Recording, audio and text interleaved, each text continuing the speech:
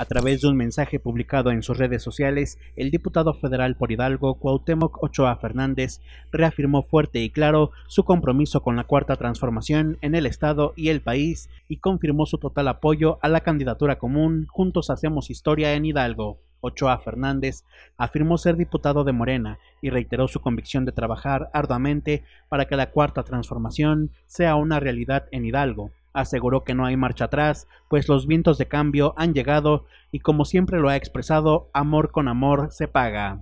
Amigas y amigos de Hidalgo, quiero hablarles de frente como siempre les he hablado.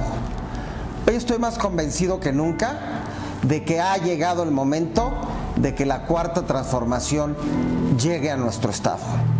Caminando hombro con hombro con el pueblo, siento los aires de la transformación y la convicción de mujeres y hombres de todas las regiones porque juntas y juntos hagamos historia.